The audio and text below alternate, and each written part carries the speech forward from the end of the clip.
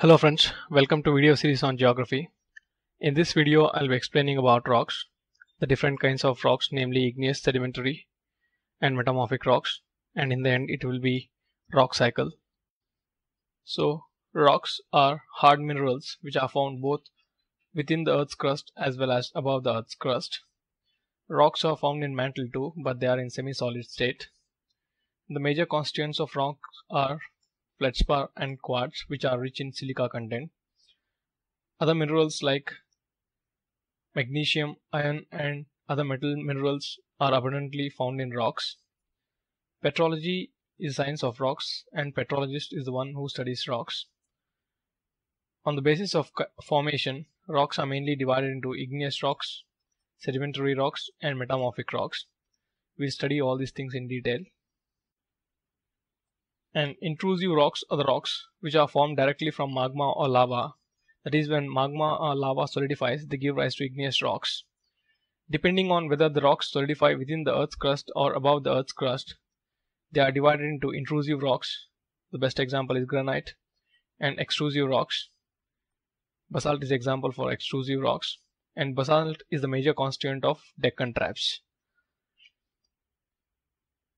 The intrusive rocks which solidify within the earth crust solidify slowly giving rise to very large grains.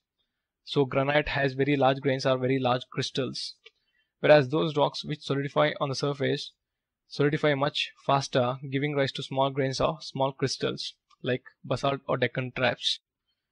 And the most important property of these rocks is that they are unfossiliferous or do not contain any fossils because they are formed at very high temperatures and based on the place and time taken in cooling. The igneous rocks are divided into plutonic rocks or volcanic rocks. Plutonic rocks are nothing but intrusive rocks, that is, the rocks that are formed due to the cooling of magma deep below the Earth's crust, whereas volcanic rocks are ex extrusive rocks, where the lava which flows out cools uh, above the Earth's crust, giving rise to extrusive rocks. The next example is granite, which is formed from slow cooling of magma that is giving rise to big crystals. And the example for volcanic rocks is basalt, which is the major constituent of Deccan traps. And this rock is formed when magma, uh, sorry, lava which flows out above the Earth's crust cools quickly, giving rise to small crystals of rocks. We have seen slow cooling gives rise to big crystals, whereas rapid cooling prevents crystallization, or they might be very small they might possess very small crystals or they might be very fine, fine have fine grains. And as these rocks are cooled below the earth's crust they are much denser and darker in color mainly because of the presence of iron oxides etc and whereas volcanic rocks are less dense and they are lighter in color and they are basic in nature whereas plutonic rocks are acidic in nature and those rocks which cool between the plutonic rocks and volcanic rocks are called as intermediate rocks or dike rocks. We have discussed about different kinds of uh, rock forms uh, below the earth's crust where magma cools giving rise to various structures like sill, dike, laccolith, uh, batholith, etc. And they are semi-crystalline nature that is intermediate the crystal size is intermediate to that of uh, plutonic and volcanic rocks and based on chemical nature, igneous rocks are divided into acidic rocks and basic rocks. Acidic rocks are rich in silica. Silica consists of 80% of the rock, whereas the basic rocks are poor in silica. They mainly consist, uh, consist of magnesium and iron, and various other metal oxides. As they are very rich in uh, the silica content, they are very viscous and it gives acidic nature to the rock. As they are very viscous, they do not flow for longer distances and cools very quickly, giving rise to very uh, big crystals or grains. Whereas basic rocks, which are low in silica content, are less viscous and they can flow for a larger distances and they cool slowly, thus giving rise to bigger crystals. One good example is Mount Fuji in Japan, which is a volcanic mountain which is formed due to uh, continuous accumulation of uh, cooled magma and the example of basic rocks the landform formed by basic rocks is Deccan traps which is a plateau. This uh, Deccan traps mainly consists of basalt which is basic in nature and due to the less content of heavy metals like iron and magnesium etc these rocks are lighter in color. For example is granite. Whereas due to the presence of high metals especially metal oxides these rocks are dark in color. That is basic rocks are dark in color. And these are few examples of acidic rocks. Granite quartz uh, feldspar all these are very rich in silica. Whereas the example for basic rocks are basalt gabbro and dolerite which are very poor in silica content. And as these rocks forms bigger crystals and they are formed due to very slow cooling of magma. They are very brittle or hard and they are very resistant to weathering. Whereas comparatively the other kind of rock that is basic rocks are relatively uh, vulnerable to weathering and they can be relatively easily weathered. And coming to economic significance of uh, igneous rocks they are rich in metal ores. Uh, that is they form the major source of metal ores. This is because the lava which comes from deep inside the earth's crust carries a lot of uh, metal content in it. And once these come out and solidify give rise to a rock which will be obviously be rich in metal ores. And various metals found are iron nickel copper etc and single element metals like gold platinum and single element non-metallic minerals like diamonds etc amygdales are bubbles within the rock's interior in which uh, metal constituents settle and hence these rocks or amygdales will be rich in certain metals especially gold platinum silver etc are found in this this form of amygdales. And the old rocks of indian peninsula that is the peninsular region it is rich with crystallized uh, minerals uh, metal minerals like iron uh, copper etc whereas the western region, western India, semi-arid region, parts of uh, Rajasthan, Gujarat, etc., are rich in acid uh, acidic rocks like granite, which are of uh, huge economic significance. And the next important types of rocks are sedimentary rocks. They are mainly formed from igneous rocks, as well as there is one more kind of rocks called metamorphic rocks. When all these uh, rocks undergo denudation denudational processes like erosion weathering etc their surfaces are lost and these surfaces give rise to sediments. And these sediments undergo lithification or rock formation giving rise to sedimentary rocks. The best examples are sandstone and shale. And depending on the kind of formation there are three types mainly mechanically formed sedimentary rocks. The best examples are stands, uh, sandstone limestone shale loess, etc. Loess are the ones carried uh, where uh, the sediments are carried by wind, and limestone are the ones are the ones where sediments are carried mainly by water, and organically formed sedimentary rocks, which are rich in coal and various other carbon carbonaceous content, and chemically formed are the ones which undergo chemical changes and hence the rock is formed like calcium carbonate or limestone, potash, etc. Though the earth, earth, Earth's surface is covered by mainly by sedimentary rocks, they cover about 75% of the Earth's crust.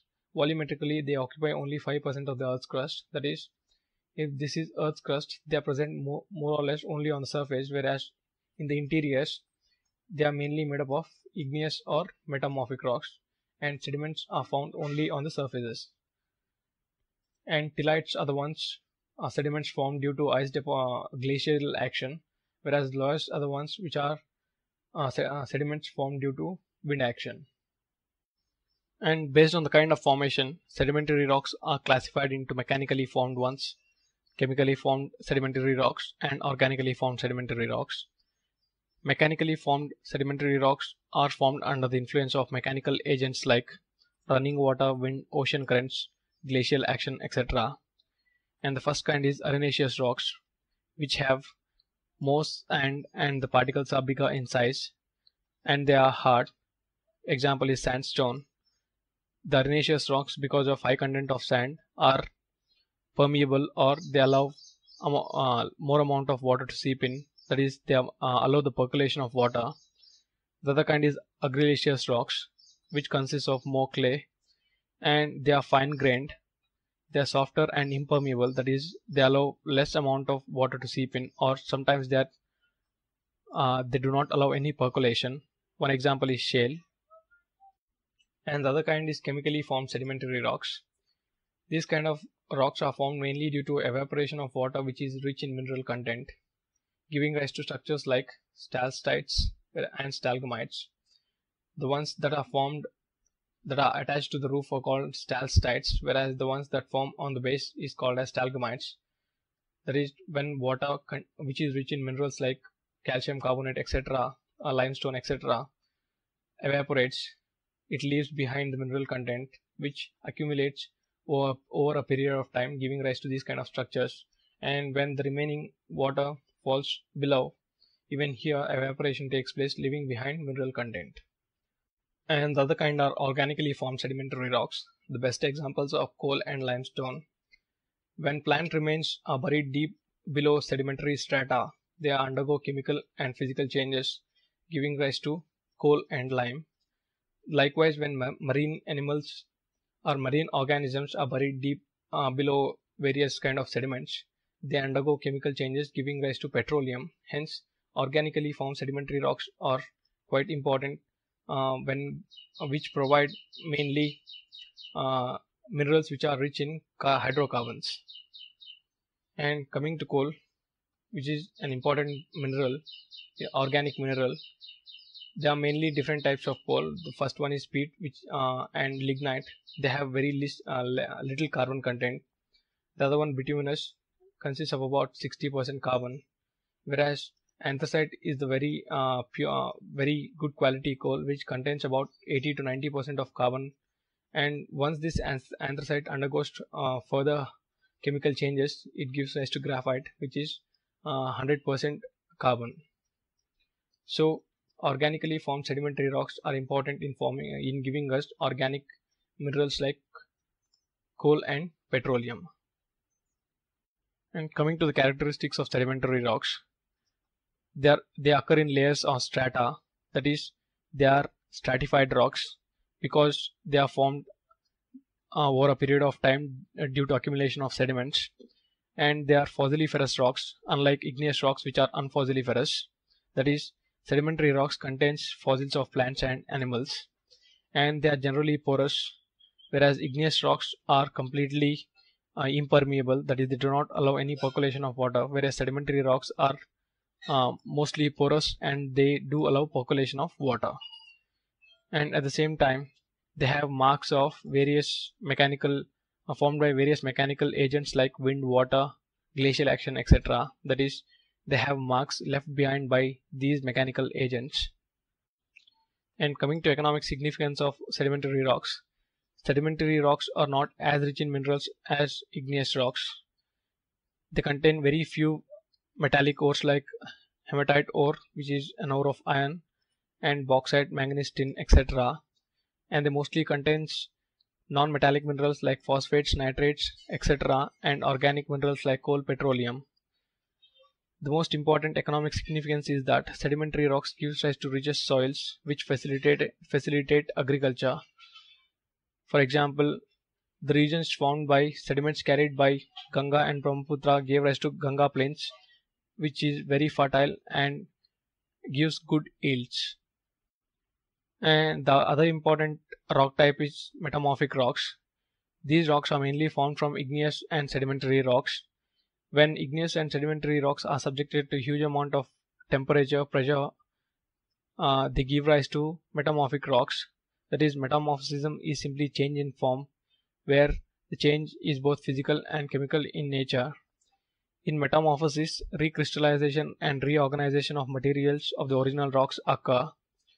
And the most important property is there is foliation or lineation.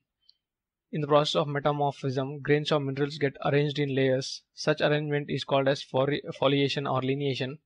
In sedimentary rocks, it is called stratification, but in metamorphosis morphic rocks, it is different and it is called foliation or lineation. There is one more thing called banding where alternating thin and thick layers of rock uh, get accumulated in the metamorph metamorphic process. The best example for metamorphic rocks are gneiss, slate, schist, marble, quartzite, etc. And some important examples of metamorphosis. Granite, which is basically an igneous rock, under the influence of pressure gives rise to gneiss, gneiss and clay and shale, which are mainly sedimentary rocks under influence of pressure give rise to schist, sandstone, which is basically a sedimentary rock under the influence of heat gives rise to quartzite, which is rich in silica, uh, silica.